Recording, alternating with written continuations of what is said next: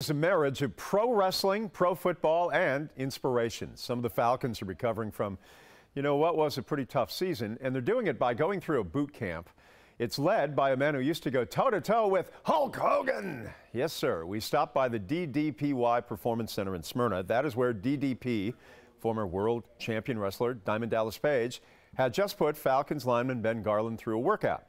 Page trains everyone from, you know, just typical people that want to get in better shape to world-class athletes by mixing elements of yoga with traditional calisthenics and maybe some pro wrestling personality thrown in.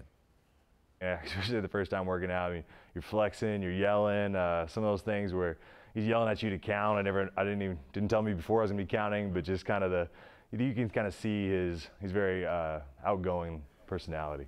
His program can have some amazing side effects. One man lost close to 200 pounds, and his story has been seen more than 22 million times on the DDP Yoga YouTube page. When I can help people get out of pain, that's the biggest thing. And, you know, people lose hundreds of pounds. Not the focus. Get out of pain.